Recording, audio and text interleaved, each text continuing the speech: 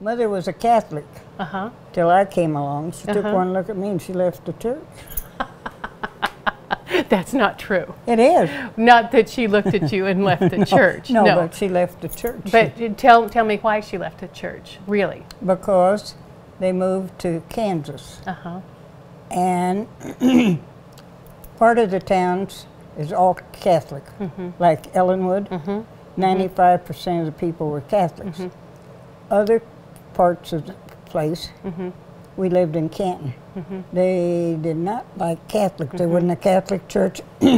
McPherson had a Catholic church, and it only had services once a month. Oh, for heaven's sakes! Yeah.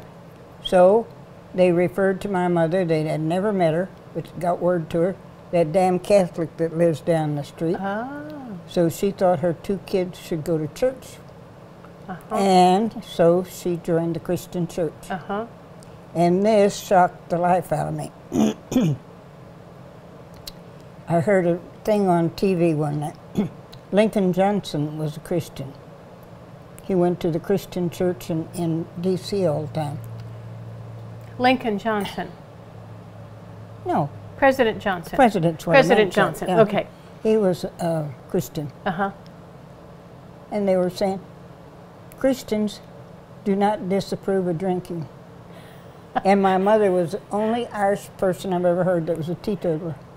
she didn't drink. No, she didn't. Oh, she was so opposed to it. She also said that a woman that would smoke would do anything. Oh, really? Uh huh. Oh, How about that? haven't done an everything yet.